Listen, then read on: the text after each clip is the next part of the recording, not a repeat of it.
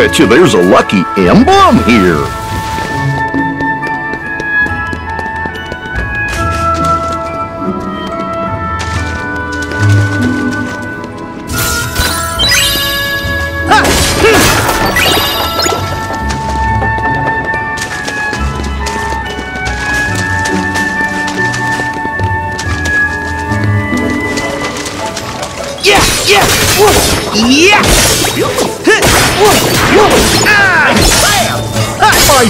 Yeah, ready! yeah.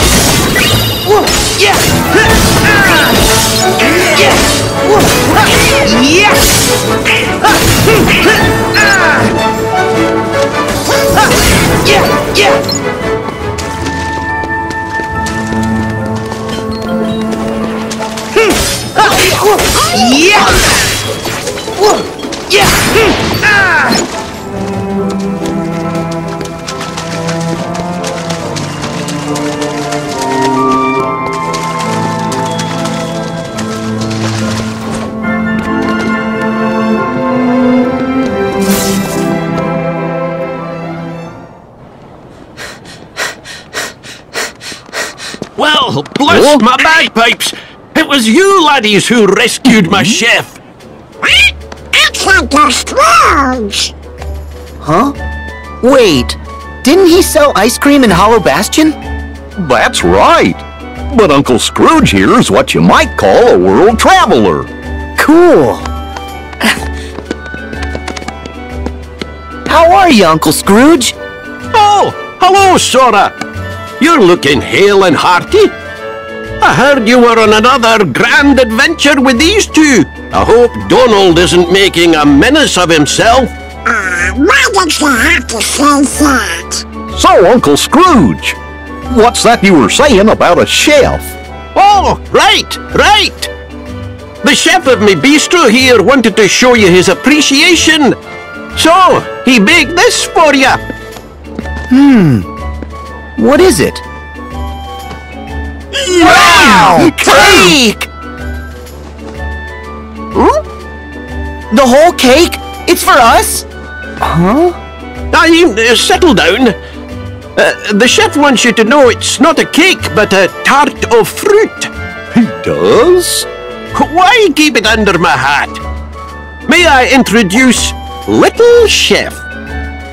Oh, it's you! Scrooge, you opened the bistro tried on town. Aye. It all started a little while ago when I was enjoying one of the best meals of my life. And when I asked to speak to the chef, I met this wee genius. As it turns out, he wanted to expand his culinary horizons. So I thought, that's an opportunity. And I financed the whole operation. Ooh, I think he wants to cook some more for you. Fetch some ingredients, especially anything unusual. That'll be fun! Kinda like a scavenger hunt. And the more the better. The mark of a truly great chef is creating masterpieces out of anything. You can start right here in town. We'll do anything to try more of Little Chef's food. Yeah! That tart sure did look scrumptiously delicious. Okay, the ingredient hunt is on.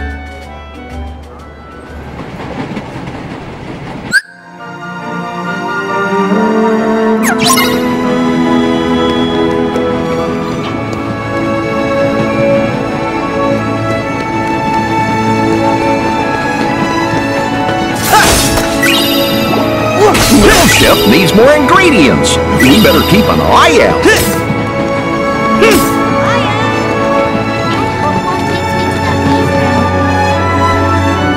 Yeah!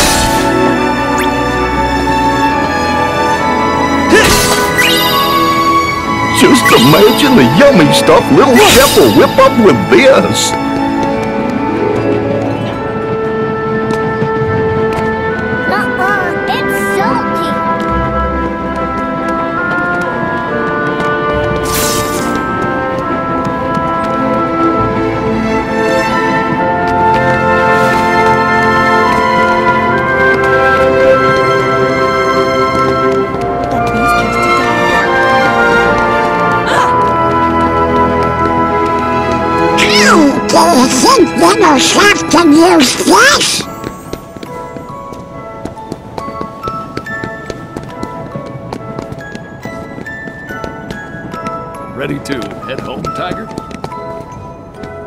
Hope we find some ingredients around here.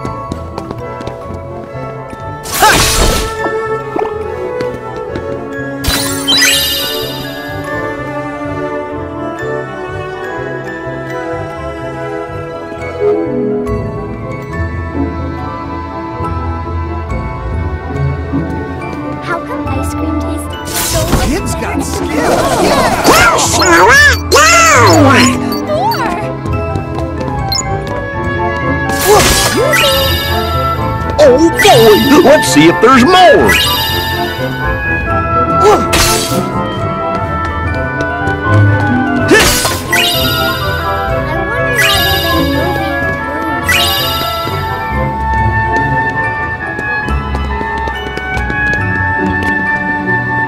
I wish I could be the one the seven wonders.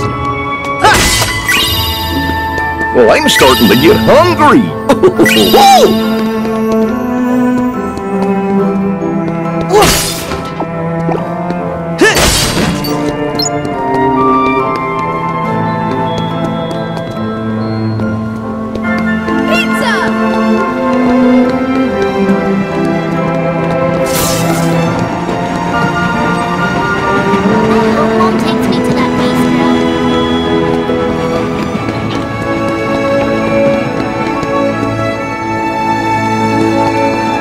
can't leave.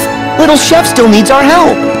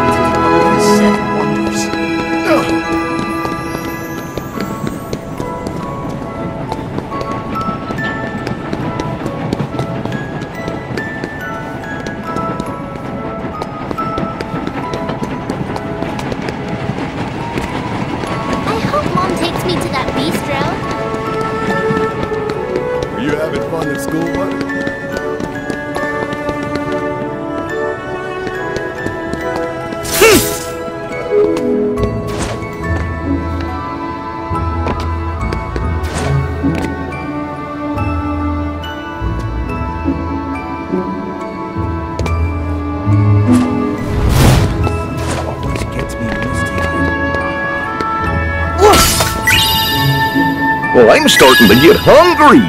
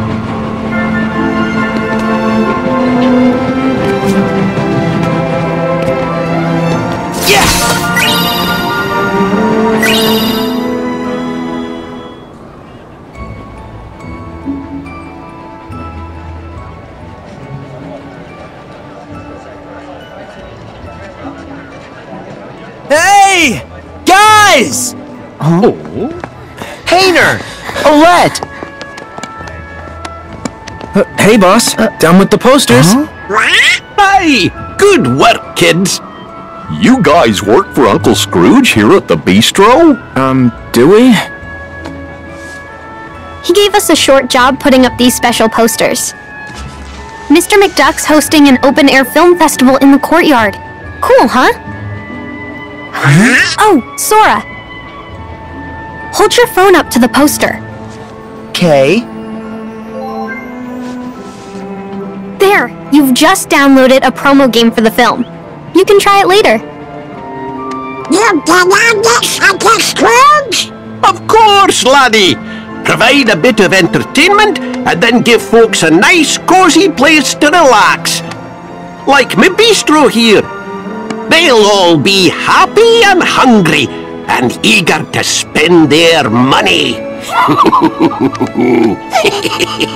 Uncle Scrooge. Gosh, he sure is canny. I always wondered how he keeps customers coming into his businesses over and over. Oh yeah, I'm no business guy, but I sure wouldn't want to be one of Uncle Scrooge's competitors. Seriously. Whoa! Oh, right! I need to warn you guys. Why? Well, those creepy crawly things might come back for more. So stay on your toes. Sure. But don't we have you guys to take care of them for us? You have to leave again? Mm-hmm. That's our job. But we'll definitely be back. When you gonna slow down? Sorry. Just do me a favor. Well, what is it? Don't make it too tough. I know how Roxas feels to be lost, but Donald and Goofy, Kairi, brought me back by wishing with all their hearts. Mm. So, I was hoping the three of you would do the same and wish for Roxas. What? That's it? That's no favor. We'll all wish. I'm wishing. Yeah. Me and Pence too. Thanks.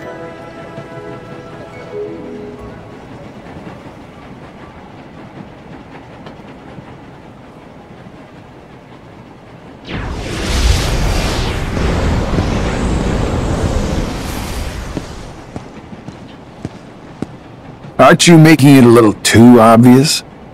We were instructed to guide him. Yes. Just look at them. They wouldn't get far if we did not spell it out. Huh. Fair enough. But let's not forget how many times Sora still managed to rain on our parade. If he wavers from the path we lay, we destroy him. But in that case, we'll have to find ourselves another vessel. That is why we never have just one iron in the fire.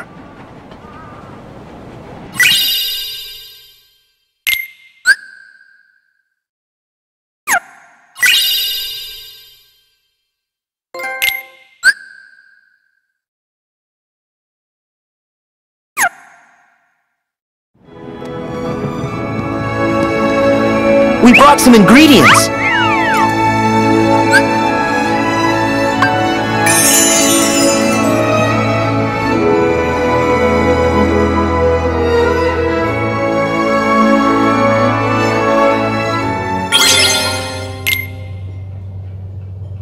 Is the food ready yet? Huh? Hmm? He hasn't started? Huh? Whoa! Whoa! Hold on! Hey, hey!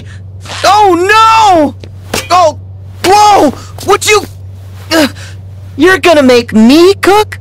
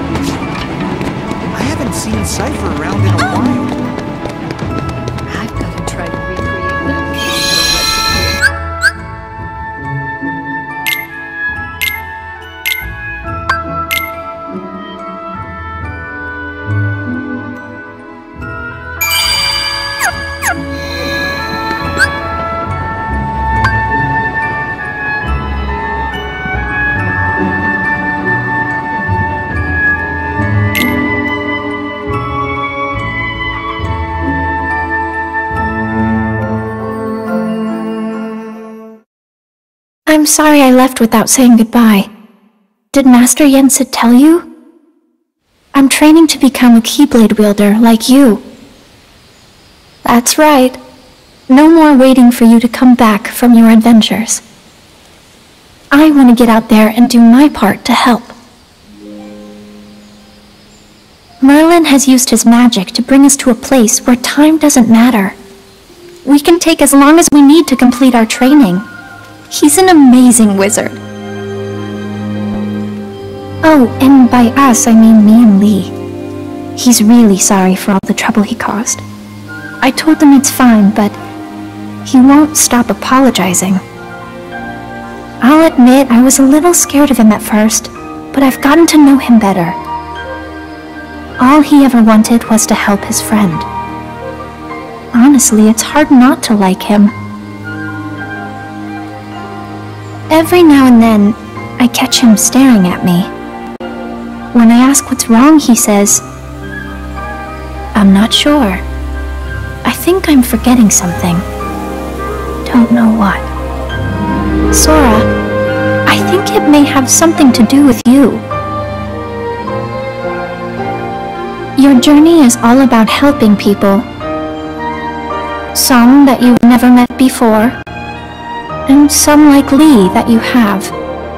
They're all counting on you. It won't be easy, but I hope you'll remain the happy and cheerful Sora I know. There's no heart your smile can't reach.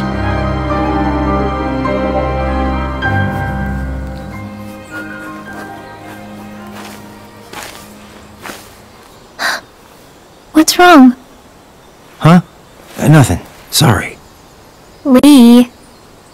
What? I am.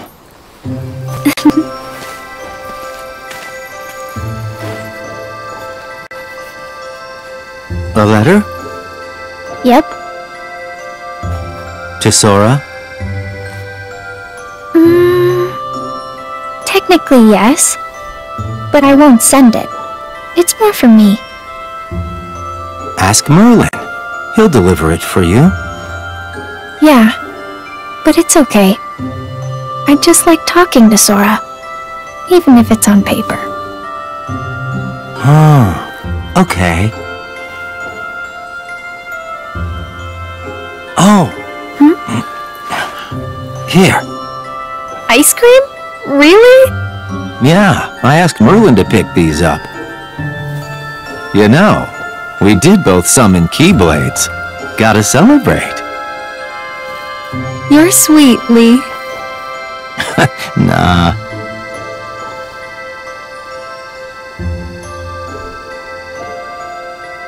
What? Well, uh, nothing. I just... You're trying to remember what you forgot? Well, I, uh... Yeah. Yeah. So tomorrow, you and me in the ring. You ready? Of course. Don't hold back, Lea. Promise?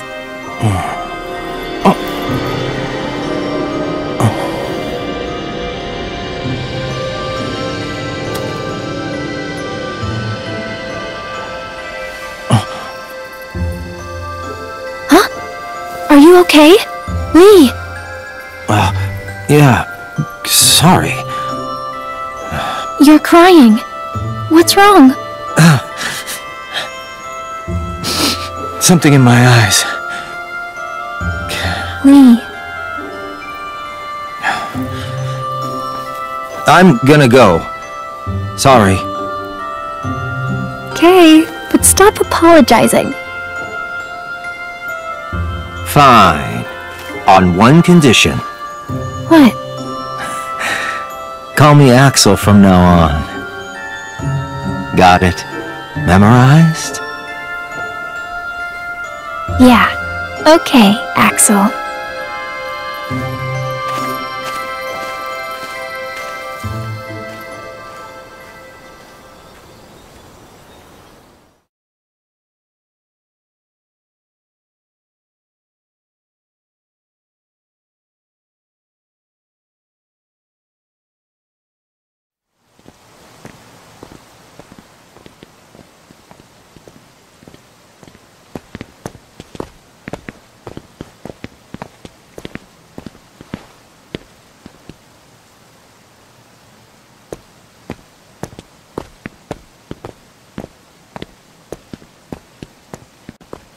So this is the place where Aqua fell into the realm of darkness after she dove in to save Terra.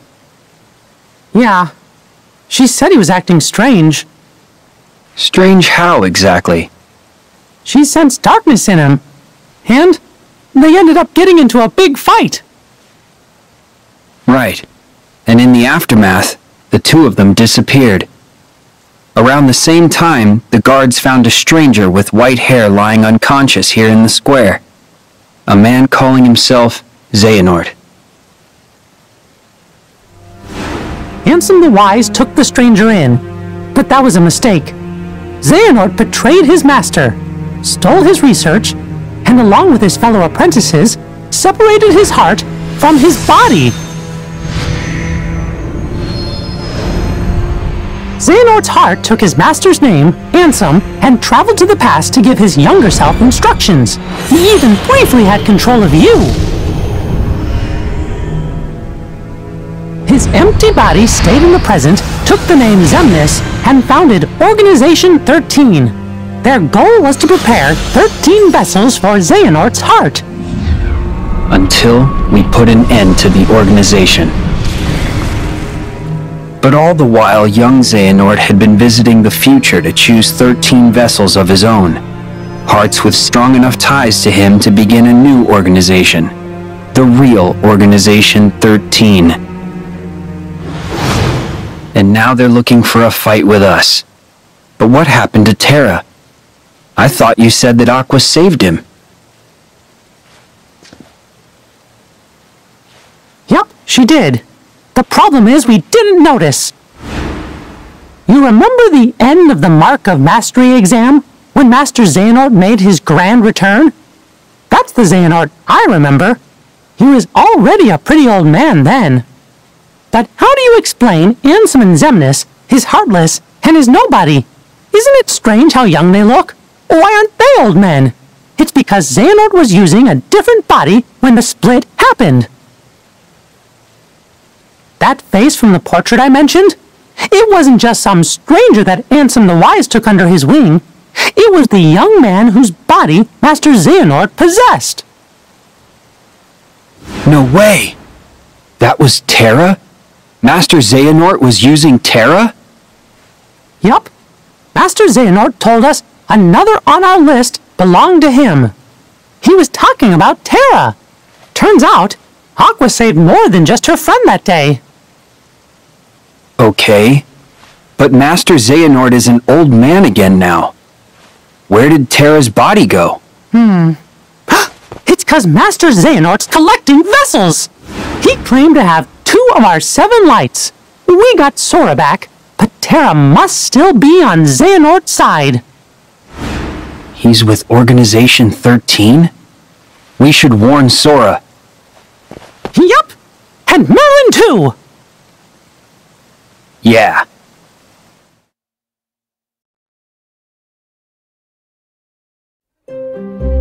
Hey, Sora!